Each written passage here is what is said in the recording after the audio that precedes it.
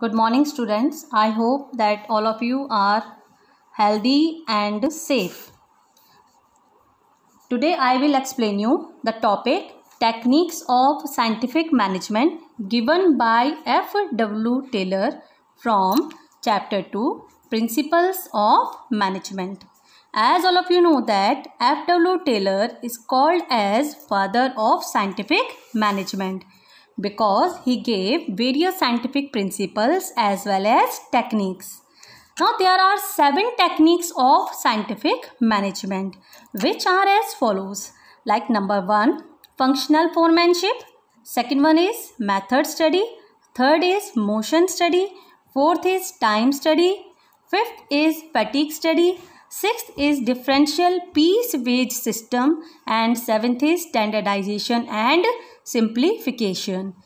While method study, motion study, time study and fatigue study. These four are come under work study which will we will discuss later.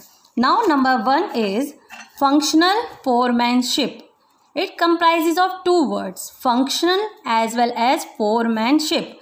Functional means functions foreman mean supervisor और we can say that instructors और the lower level manager generally they are in direct contact with the workers and they perform different activities related to production planning implementation and control the activities of workers it means workers की activities को supervise करना, उनकी activities को control करना check करना discipline maintain करना, ये check करना कि प्रोडक्शन प्रॉपरली हो रहा है या नहीं हो रहा। It is a task of a foreman और we can say that in a factory system foreman is a person who are in direct contact with the worker so they act as a link between middle level and workers they take instructions from middle level and give their instructions to the workers. So, foreman is a linking pin between the middle level and the workers. They are also called as lower ranking manager because they come under lower level while top level after top level and the middle level and they are called as highest ranking workers because they are above the fore they are above the workers and now according to the functional foremanship Taylor concentrated on improving the performance of this role अब functional foremanship की जो technique है, इसमें Taylor क्या करना चाहता है? Taylor में का मेनली कंसनट्रेशन है कि वो फॉरमैन की रोल को और ज़्यादा, उसकी परफॉर्मेंस को और इम्प्रूव करना चाहता है। तो he identified that there are certain qualities must be in a good foreman these are good health intelligent honest tactful great और patience education and specialise knowledge he insists that these should do these qualities should be in a good foreman or a supervisor. But These all qualities could not be found in a single person. So, Taylor proposed eight specialists. उन्होंने कहा कि क्योंकि ये सारी qualities एक व्यक्ति में होना पॉसिबल नहीं है इसलिए उसने कहा कि एट स्पेशलिस्ट होने चाहिए and these specialist should be assign work according to his और her qualities for example those who have technically mastery or intelligence and grit or patience may be given planning work it means जिनके पास technical knowledge है intelligence है, ठीक है patience है, वो patiently लोगों की बातों को सुनते हैं, समझते हैं एंड उसके अकॉर्डिंग वो प्लान करेंगे और कर सकते हैं देन उनको जो है प्लानिंग का टास्क देना चाहिए. And those with energy and good health may be assigned execution work so we can say that Functional foremanship is an extension of the principle of division of work and specialization. So the word extension, extension means extended version and principle of division of work you have already discussed now principle of division of work focuses on that work must be divided into different persons and work should be given to each and every individual according to their skill and qualification बच्चों principle of division of work क्या कहता है? कि काम को divide करो लोगों में, उनकी कैपेबिलिटी उनकी स्किल के अकॉर्डिंग जब आप काम उनको दोगे, उनकी कैपेबिलिटी और स्किल के अकॉर्डिंग और वो एक्टिविटीज़ परफॉर्म करेंगे again and again then it will leads to specialisation for example जैसे अगर हमें एक फर्नीचर बनाना है, कोई हमें एक टेबल बनानी है या फिर हमें चेयर बनानी है तो हमने चेयर बनाने के लिए उसकी फ्रेम बनाने का काम एक पर्सन को असाइन कर दिया, पॉलिशिंग का काम एक पर्सन को असाइन कर दिया, नेल लग, उसके अंदर लगाने के लिए एक पर्सन को असाइन कर दिया तो अब हमने देखा कि हमने जब एक व्यक्ति को डेली ये वर्क असाइन किया, केवल वो फ्रेम बनाता जाता है, एक पॉलिशिंग का ही केवल काम करता है और एक केवल नेल लगाता है। तो जब वो काम पहले उसी काम को, जिस काम को करने के लिए उसको हाफ़ एन आवर लगता था, वो धीरे धीरे उस काम को जो है पहले से twenty five minute twenty minutes में धीरे धीरे करने लगता है। ऐसा क्यों है? क्योंकि एक ही काम को करते करते क्या बन जाता है वो इस फ़ील्ड का स्पेशलिस्ट ये कौन कहता है? हमारा principle of division of work कि जब हम काम को डिवाइड करते हैं लोगों में, उनकी कैपेबिलिटी उनकी स्किल के according and when the task is perform by each individual again and again then it will leads to specialisation लेकिन हमारा जो ये टेक्निक है फंक्शनल फोरमैनशिप ये अब एक्सटेंशन है। इस प्रिंसिपल की इसका मतलब है कि यहाँ पर काम को ही नहीं, यहाँ तक कि काम के अकॉर्डिंग सुपरवाइजर्स को भी उन्होंने डिवाइड कर दिया according to their skill and qualification so functional foremanship क्या है? ये एक ऐसी टेक्निक है, जिसका मेन एम क्या है? क्वालिटी ऑफ़ सुपरविजन इम्प्रूव करना at the shop floor level of the factory by putting a worker under eight specialist foreman क्या बताया बेटा? एक बार द्वारा देखिए। फंक्शनल फोरमैनशिप क्या है? Is a technique which aims to improve quality of supervision It means the main aim of functional foremanship is improve the quality of supervision whenever workers are working in a factory and by putting a worker under how many specialists? Eight specialist foremen. And in this technique, he suggests that planning must be separated from execution. Execution means production. Planning should be separated from execution or production. And under the factory manager, there was a planning in charge and a production in charge क्या बोला उन्होंने कि factory manager के under planning in charge होना चाहिए और production in charge होना चाहिए here here is a factory manager and उसके अंडर हमारा एक प्लानिंग इंचार्ज इसका मेन काम क्या होगा? He will plan the activities for the workers that who will perform which task while production in charge is performing the activities of execution now under planning in charge there are four foremen and under production in charge. There must be four foremen and all the foremen must give instructions to the work. Under factory manager there are two in charges planning in charge and production in charge. He said planning should be separated from production because planning charge should be concentrated only on planning while production in charge should be concentrated only on execution and remove from the burden of planning. Under planning charge, there are four formats. Number one is instruction card clerk. He gave the name instruction card clerk the main purpose of or the main activities performed by the instruction card clerk is draft the instructions to the worker that how the task is to be perform so instruction card clerk का काम क्या होता है? Instruction देना workers को कि काम कैसे किया जाएगा।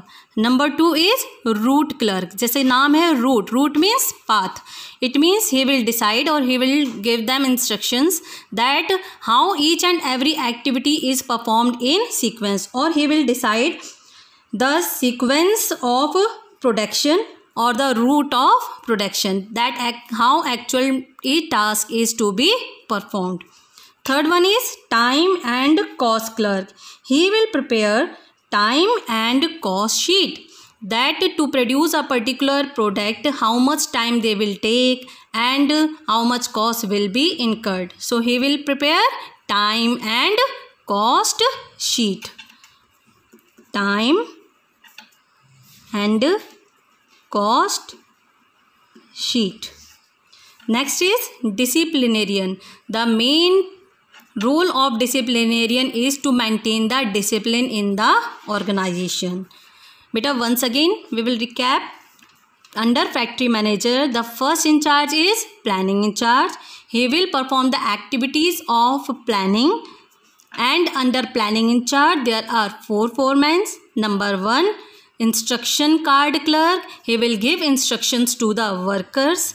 Number 2 route clerk. He will specify the route of production. Route means path. That how the actually task is performed in sequence. Next time and cost clerk.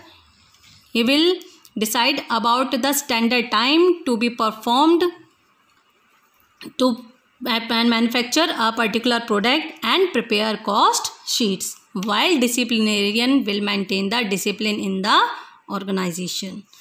Next one is production in charge.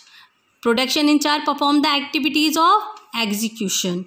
Execution the activities which are generally planned by the planning in charge. And under planning in charge under production in charge there are also four foremen he gave them name boss number one is speed boss he is responsible for timely and accurate completion of the job it means he is responsible for timely completion of job किससे related है कि आपका काम समय पर खत्म हो। Next one gang boss gang boss keep machines and tools ready for operations by the workers अब गैंग बॉस का काम क्या होता है? ये हमारी मशीन्स टूल्स को हमेशा रेडी रखता है, उनको प्रॉपरली मेंटेन करके रखता है कि जब भी वर्कर्स काम करने के लिए आए, वो मशीन्स एंड टूल्स उनके पास अवेलेबल होने चाहिए। Next one is repair boss the main task of repair is to ensure proper working conditions of machines and tools time to time पर मशीन्स एंड टूल्स को रिपेयर करना, उनको proper working condition में रखना, ताकि workers जब भी work करें तो उन्हें कोई प्रॉब्लम ना हो। Next inspectors now to their main task is to check the quality of the work it means to inspect the activities performed so under planning under production in charge number one is speed boss he is responsible for timely and accurate completion of work की काम time पर भी और सही complete हो। Gang boss वो machines and tools को ready रखता है हमेशा। ऑपरेशंस के लिए अगर नहीं है तो उनको टाइमली परचेज करके लेकर आता है। Next repair boss machines and tools को रेडी रखता है ऑपरेशंस के लिए। एंड उनको जो है प्रॉपर वर्किंग कंडीशन में रखता है। And inspector and give and surety of the quality of work. They all gave instructions to the worker or we called as workman. So, what is the conclusion? Each worker will have to take order from these eight foremen in the process of production. The basic motive is to improve the quality of supervision to improve the quality of supervision at the shop floor कि basically हमारी functional foremanship का main aim है supervision की quality को improve करना। इसलिए हमारे Taylor ने ये कहा है कि एक की जगह यहाँ पर बहुत सारे सुपरवाइज़र्स होने चाहिए। अगर सभी जो है और उनको काम उनके अकॉर्डिंग उनके स्किल्स के अकॉर्डिंग दे दिया जाए और जब वो सुपरवाइज करेंगे हर एक्टिविटीज़ को properly then it will leads to improve the supervision level okay. Yes बेटा. Now the second technique is method study what do you mean by method method means way और manner through which the work is to be perform method क्या होता है? किसी भी काम को करने के लिए बहुत सारे अलग अलग डिफरेंट तरीके होते हैं. जैसे कि अगर हमें एक सर्किल ड्रॉ करना है तो हम हैंड के थ्रू ड्रॉ कर सकते हैं. हम जो है कंपास के थ्रू ड्रॉ कर सकते हैं. हम बैंगल के थ्रू ड्रॉ कर सकते हैं. अब सबसे ज़्यादा बेस्ट वे जिससे कि हमारा सर्कुलर सर्किल एक्यूरेट हो और टाइम कम लगे, उस मेथड को हम सिलेक्ट कर लेते हैं। मान लो बैंगल हम चूज़ करते हैं, लेकिन उससे हम केवल एक लिमिटेड ही उस ही छोटा सा हम सर्किल ड्रॉ कर सकते हैं अकॉर्डिंग टू बैंगल लेकिन हम कंपास से, चाहे हमें छोटा ड्रॉ करना है, चाहे हमें सर्किल बड़ा ड्रॉ करना है we can easily draw it तो इससे हमारा टाइम भी बचेगा और हमारी जो है क्वालिटी भी इम्प्रूव होगी। तो इसी तरह से in an organization there are different method तो किसी भी काम को करने के लिए डिफरेंट मेथड्स हैं। फॉर एग्जांपल हम ट्रेनिंग के मेथड्स लेते हैं। ट्रेनिंग के हमारे डिफरेंट मेथड हो सकते हैं। जैसे कि lecture method seminar method vestibule method of training lecture methods को जनरली हम यूज़ करते हैं, जब हमें एक साथ काफ़ी सारे लोगों को ट्रेनिंग प्रोवाइड करनी है। लेक्चर से हम लोगों को समझा सकते हैं या फिर हम कहते हैं केस स्टडी मेथड भी यूज़ करते हैं। जहाँ पर हम रियल लाइफ एग्ज़ाम्पल से लोगों को समझाते हैं और अपनी व्यूज़ को उनके साथ शेयर करते हैं। इसी तरह से सेमिनार्स हैं अलग अलग एक्सपर्ट्स जो हमारे यहाँ आते हैं, उसके थ्रू हम लोगों को ट्रेनिंग प्रोवाइड कर सकते हैं। वेस्टिब्यूल मेथड ऑफ़ ट्रेनिंग इसमें हम डमी मॉडल्स के थ्रू जो है ट्रेनिंग प्रोवाइड करते हैं, या फिर हम similar work in environment create करते हैं। सिमिलर मशीन्स पर उन्हें पहले जो है वर्क करना सिखाते हैं, जब वो उस पर ट्रेन हो जाते हैं तो उनको हम एक्चुअल वर्क प्लेस पर एक्चुअल मशीनरी पर काम करने के लिए देते हैं। वेस्टिब्यूल मेथड ऑफ़ ट्रेनिंग जैसे कि हमारे डॉक्टर्स के लिए यूज़ की जाती है। डॉक्टर्स को पहले डेड बॉडीज़ पर ऑपरेशन करना सिखाया जाता है। फिर उसके बाद उनको जो एक्चुअल ह्यूमन बॉडी दी जाती है ऑपरेशन के लिए। तो इस तरह से हम कहते हैं there are different methods of training in the same way अगर हम कह सकते हैं, कहते हैं कि चलो हमें शूज़ की प्रोडक्शन करनी है। Then we have two methods labour intensive method and capital intensive method. Labour intensive method क्या होता है, जिसमें कि हम लेबर को यूज़ करते हैं प्रोडक्शन करने के लिए वाइल कैपिटल इंटेंसिव मेथड में हम मशीन्स को यूज़ करते हैं प्रोडक्शन को करने के लिए। तो अब हमें कौन सा मेथड सिलेक्ट करना है, इस चीज़ के लिए हमें कंपेयर करना होता है कॉस्ट को और क्वालिटी को। हमें वो मेथड अडॉप्ट करना होता है, जिससे कि कॉस्ट क्या आए, कम आए, और क्वालिटी क्या हो बेस्ट हो या फिर इम्प्रूव हो। So in case of method study the main objective is to find out the best method through which we can increase our productivity and reduce cost now look here बेटा the main aim of method study is to find out one best way और method of doing the job which help to minimize the cost जिससे कि cost of production कम आए। लेकिन quality maximize हो and हमारे customers satisfy हों। तो हमें वो मेथड अडॉप्ट करना चाहिए। Now the third technique is motion study motion means movements movements क्या होती हैं? Whenever we are working in an organization then there are different types of movements like lifting putting objects sitting changing positions etc so there are generally performed these are generally performed in an organization whenever we are performing job there. And now motions can be classified into three categories. Some movements are productive movements. Some are incidental movements.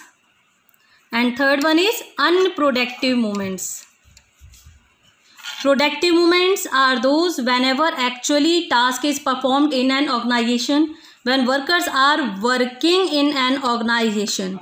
While unproductive movements are when employees or workers are not working in an organization they are involved in gossiping.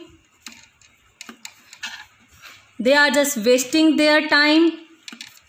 So these are come under unproductive movements. While incidental movements are sometime you are called by general manager immediately then these are incidental movement. So productive movement जब आप actual में काम कर रहे हो जब unproductive जब आप वर्क नहीं कर रहे हो अपने वर्किंग आवर्स में एंड इंसिडेंटल कभी कभी अगर ज़रूरत पड़ने पर आपको अपने वर्किंग प्लेस को छोड़कर जाना पड़ता है तो these are the different movements generally which are performed in an organization अब टेलर क्या कहता है? Taylor use stop watches Taylor ने कैसे इन मूवमेंट्स को आइडेंटिफाई किया? उसने कहा कि we can use stop watches various symbols and colors to identify the motions. For example productive movements के लिए आपने ग्रीन कलर से आइडेंटिफाई किया. इंसिडेंटल मूवमेंट्स को आपने येलो कलर से आइडेंटिफाई कर दिया.